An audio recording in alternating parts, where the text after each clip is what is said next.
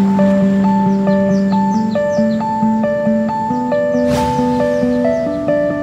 80% de nos consommateurs déclarent euh, s'orienter de protéines animales vers des protéines végétales dans leur alimentation.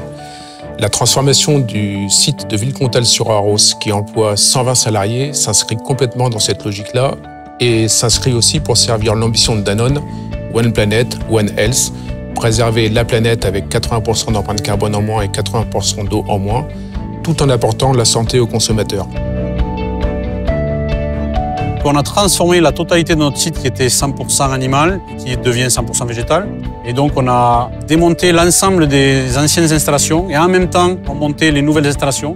Donc on avait très peu de temps pour réaliser ces opérations. Bocard a eu un partenariat avec Danone la mission de, migrer le, site d'un process laitier à un process végétal, avec donc toute l'intégration de la partie mécanique, électricité, automatisme. En termes de, capteurs, on récupère des, euh, sondes de, pression, des sondes de température.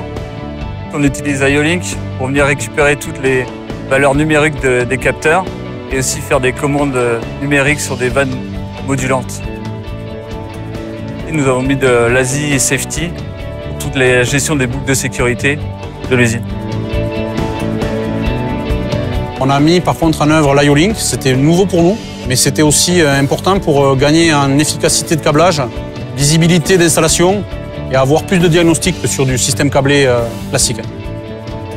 Les avantages qu'on voit pour le personnel de maintenance, c'est d'avoir quelque chose de plus simple en termes de diagnostic, de remontée de défauts sur les capteurs.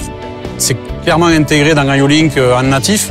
On peut avoir dans l'automate toutes les informations nécessaires nous permettent de signaler le moins de problèmes sur un capteur. Et ensuite, dans le cas de remplacement de capteur, on peut redescendre la configuration complète qui est stockée dans l'automate vers le capteur.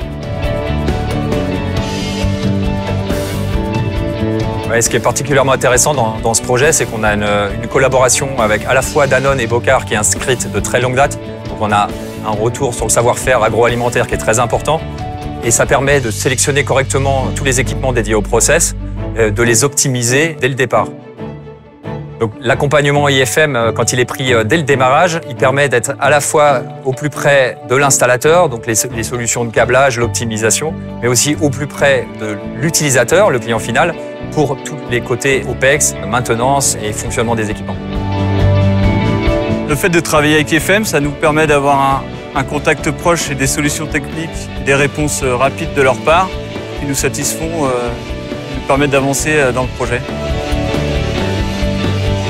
Cette modernisation de l'outil industriel se devait de prendre les meilleures technologies présentes sur le marché pour construire un outil qui soit pérenne pour les décennies à venir.